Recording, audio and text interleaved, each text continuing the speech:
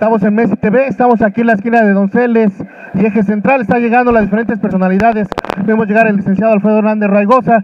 Gracias informe del jefe de gobierno. ¿Algún comentario? No, pues es un, un cierre perfecto del jefe de gobierno en virtud de que ha cumplido su palabra, especialmente con la gente más humilde, con la gente trabajadora y ha planteado una, una tesis diferente para gobernar el país. Gracias, subsecretario de Movilidad, licenciado Alfredo Raigosa, y estamos aquí justo a los diferentes funcionarios. Estamos viendo llegar a todas las personalidades en este momento.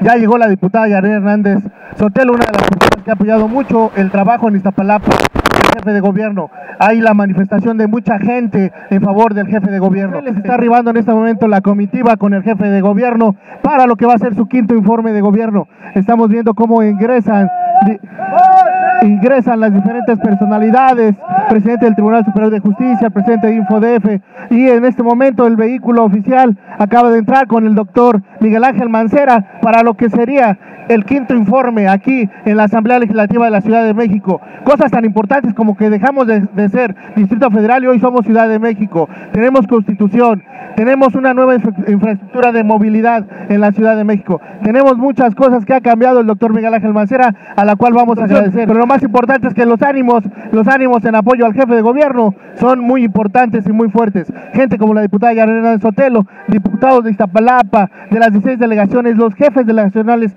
ya han ingresado, ya están aquí. Los diferentes secretarios, subsecretarios de las diferentes dependencias de la Ciudad de México. Estamos aquí muy atentos, agradeciendo a todo el personal de apoyo, también de la Secretaría de Seguridad Pública, con el secretario Irán Almeida que está apoyando. Está ingresando también la presidenta nacional del Partido de la Revolución Democrática, Alejandra Barrales. Vienen a apoyar también los partidos a esto que han llamado el Frente Amplio Democrático, Frente, Amplio Ciudadano.